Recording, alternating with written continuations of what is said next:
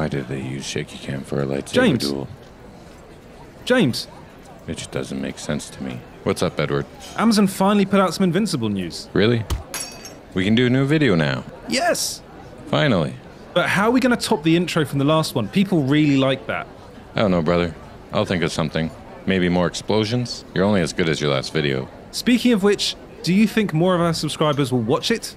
Ooh, um, considering only 0.3% of them did, I wouldn't hold out hope. It's getting them to watch the whole video that's tricky. We can talk fast and make it as entertaining as possible, but it's YouTube, so Don't say it. I blame TikTok and YouTube Shorts. So, should we just say when it's coming out now then? Why not? Maybe they'll stick around and watch the whole video. Our source and our last video was right on the money. Invincible Season 2 is coming out late 2023. That's awesome. I can't wait. How did they announce it? Anything special?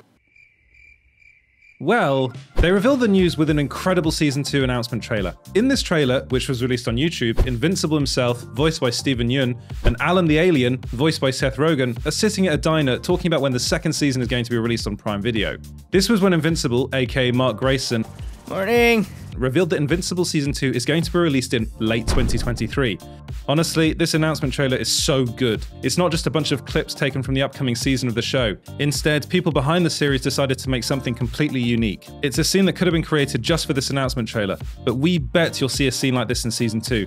Animation is expensive after all, and in the scene, they poke fun of the fact that it's been so long since we've heard any news about the show's second season. Mark goes on to break down all the things that need to happen in order to create a hit show like Invincible. A subtle jab to the fans online who've been frothing at the mouth for season 2 to come out, but also a tongue in cheek way of self awareness from the studio. It's absolutely brilliant.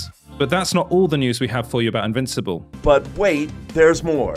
Even though Invincible Season 2 hasn't been released yet, it's already been confirmed by one of the show's voice actors that the third season is in development. Khary Payton confirmed that Season 3 is already in the works. However, he also added that it might be a while before the third season is released. Here's what Payton had to say on the matter. I am so glad they greenlit seasons 2 and 3 at the same time because that means when 3 comes out, it'll feel like just next season and not a lifetime. But yeah, it's going to take a while. I wish I could say otherwise, but I've done enough animation to know that to get it right, you're drawing every panel, you know. And what's going to happen in season 2 of Invincible? What the hell's going on? Well, we have a video on that you can check out right here, and be sure to check out our news and exclusives playlist here. If you're still here, thanks for watching, and see you next time.